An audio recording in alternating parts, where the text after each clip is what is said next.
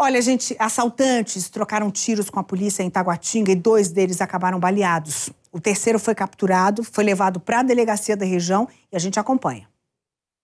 De acordo com informações da Polícia Militar, esses três indivíduos roubaram um carro que usavam para cometer crimes na região da Chaparral. Durante a fuga, houve uma troca de tiros entre os militares e os suspeitos. Duas pessoas foram baleadas e encaminhadas ao hospital e esse terceiro envolvido foi levado à 12ª Delegacia de Polícia.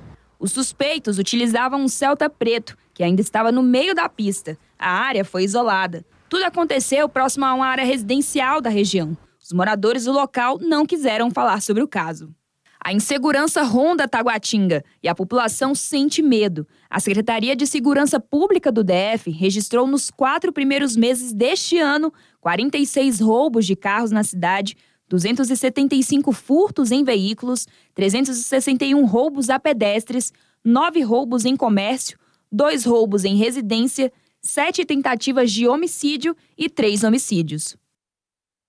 Vamos proteger a nossa cidade que está de aniversário hoje.